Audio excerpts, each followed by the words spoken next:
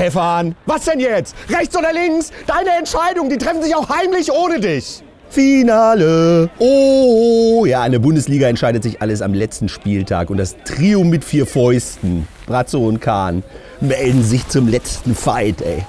Vielleicht haben die die Aufgabe FC Bayern München auch ein bisschen zu leicht genommen. Ne? Guck mal, ich bin ja auch ein sehr, sehr erfolgreicher Trainer. Ne? Ich lebe das halt nur nicht so aus. Hättest du dem Kahn und dem Brazzo gesagt, im Jahr 1173, bau mal einen Turm in Pisa, hätten die beiden gesagt, was soll denn da schiefgehen? Ich glaube ja, nach der Saison müssen in Bayern die kompletten Mathebücher umgeschrieben werden. Da gibt es eine neue Textaufgabe. Wie schaffen es zwei Leute mit nur einem Trainerwechsel drei Titel zu verspielen? Andi, du kaufst ja auch ganz gerne mal selbst Blumen, ne? Weil du selbst immer so wie Scheiße baust. Ich mach, glaube ich, jetzt Freitag oder so nochmal einen alternativen Fanprotestmarsch zum FC Bayern. Ich komme zur Sebener Straße mit so einer Herde kleiner Schafe. Dilemma des FC Bayern.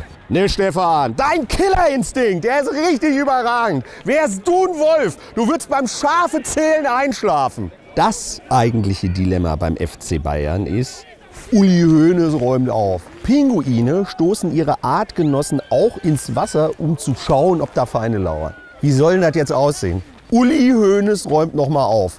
Heidi Klum kommt für Brazzo und Kahn. Aus dem Fußballclub wird ein Modelabel. Oder anders gesagt, auf den Spuren des FC St. Pauli. Serge Gnabry und Leroy Sané dürfen dann endlich offiziell auf den Laufsteg. Und der FC Bayern ist endlich wieder Champions League in Paris und Madrid. Also bei der Fashion Week. Hermann, wo ist denn deine Schokoladenseite?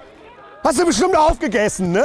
In Dortmund sprengt der Kampf um die Meisterschaft alle Superlative. 400.000 BVB-Fans werden am Samstag in Dortmund erwartet. Hotels kriegst du gar keine mehr. So eine Airbnb-Wohnung kriegst du am Borsigplatz für zwei Nächte, Achtung, kosten 1243 Euro. Dafür kriegst du normal in Dortmund ein Schloss mit 12.000 Quadratmeter ne, für ein Jahr. Public Viewing wird es in der Stadt nicht geben, weil die Stadt Dortmund sich nicht mit den Rechteinhabern der Fußball-Bundesliga einigen konnte.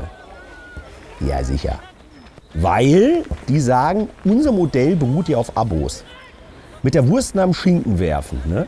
davon habt ihr auch noch nichts gehört guckt halt jeder in der Dortmunder Innenstadt das Spiel alleine auf dem Handy. Das ist auch viel geselliger, wenn du dann da stehst. Und Wobei, so wie ich die DFL kenne, ne, rechnen die nochmal durch.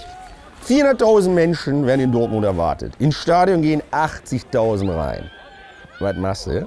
Die Anstoßzeiten ne, für BVB gegen Augsburg sind dann 9 Uhr, 11.45 Uhr, 13.45 Uhr, 15.45 Uhr, und 1945. Stefan, wenn ich dich hier spielen sehe, ne, dann wünsche ich mir, ich wäre ein Ökohuhn. Ne? Das ist jedenfalls die ganze Woche auf Gras. Ich glaube ja, die beiden Jungs, die den Namen des deutschen Meisters in die Schale eingravieren, die kommen auch aus München. Konntest du ja jetzt serienmäßig einfach beim FC Bayern liegen lassen, das Ding. Ne? Jetzt haben die das natürlich standardgemäß schon eintätowiert, da in die Salatschüssel. Ne? Die zwei Münchner. Jetzt mussten sie das wieder wegmachen. Jetzt soll Borussia Dortmund drauf. Da fragt der eine den anderen, ja, mei, wie soll ich das machen? Sagt der andere, ah, nimm's einfach ein Hammer und ein Meißel und ein Nagelsmann. Sagt der andere, ja, das dauert ja ewig. Und dann meint der andere, ja, ist aber nachhaltiger und effektiver. Ja, und im Keller sind ja auch noch einige in der Verlosung mit dabei. Stuttgart, Bochum, Schalke, Zweite Liga Heidenheim, HSV. Ich sag mal so, wer sich auf den letzten Spieltag verlässt, ne, der guckt im Kino aber auch einen kompletten Abspann vom Film. Ja, und auf Schalke ist die letzte Hoffnung im Abstiegskampf. Im Spiel gegen Leipzig, Keeper Ralle Fährmann. Kommt noch mal ein extra Kuchen in die Kabine, ne? Dann Ralf Fährmann ist für Schalke 04 die letzte Geheimwaffel. Ja, wenn der HSV das jetzt dieses Jahr nach gefühlten 18 Jahren nicht schafft, in die zweite Liga aufzusteigen, dann einfach bitte Branchenwechsel. Ne? Machst so eine Bäckereikette auf der Reeperbahn und die nennst du Brotaufstrich. Kevin! Boah, der ist so hohl. Der wollte letztens fürs Team einen Kuchen backen. Ist nichts geworden, weil im Rezept stand lass den Hefeteig nach dem Kneten gehen. Ja, und der ist halt bis heute nicht wiedergekommen. Was soll denn da schief gehen? Ne, Stefan, du hast auch so einen überragenden Killerinstinkt.